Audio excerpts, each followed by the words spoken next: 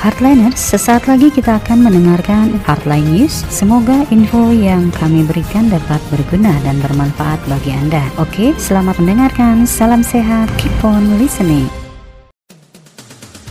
Wali Kota Bandar Lampung Eva Duyana memberikan bantuan kepada Faris Muhammad Arsyad, balita pengidap kanker mata sebesar 20 juta dan asuransi 25 juta untuk berobat lagi ke depan. Bunda berharap untuk bersabar dan tetap semangat pada Muhammad Arsyad dan keluarga. Bunda juga mengharapkan untuk tetap berkomunikasi kepada kecamatan supaya Pemkot bisa memantau dan Bunda juga berdoa untuk Muhammad Arsyad yang terbaik serta keluarga diberikan kesembuhan dan kesabaran. Berikut penjelasan Bunda Eva. warahmatullahi wabarakatuh. Alhamdulillah pemerintah kota memberikan bantuan untuk adik Hafiz yang kena kanker mata.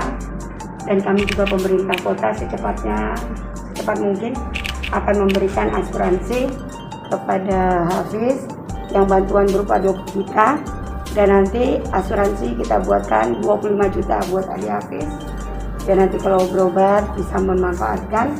Yang penting Bunda berharap kepada kedua orang tua. Sabar juga semangat ya dan juga tetap komunikasi dengan kecamatan ya biar kita juga bisa mantau.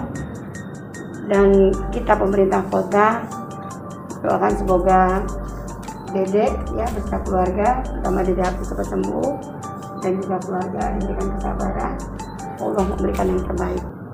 Amin. Nangis sekali lagi ya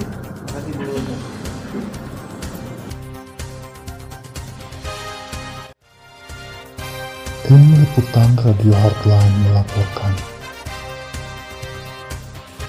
Demikian Heartliner, Anda telah mendengarkan Heartline News. Kiranya info yang kami berikan dapat menemani aktivitas Anda sepanjang hari ini. Tetap semangat, jaga kesehatan, keep on growing and never give up.